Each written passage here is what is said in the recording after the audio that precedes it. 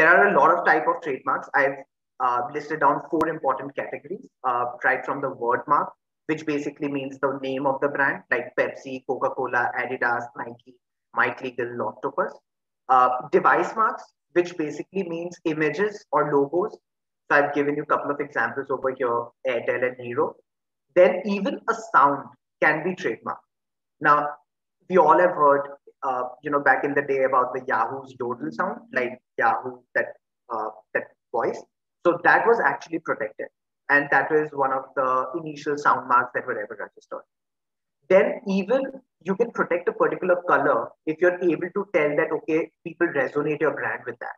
Earlier, uh, there was a long battle drawn for uh, the purple color used by the Cadbury chocolate.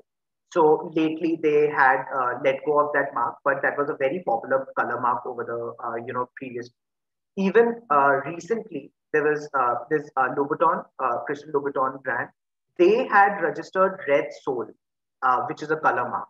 So that was a pretty interesting case law. If you know you want to refer it for your knowledge about how to register a trademark, a, a color mark, basically.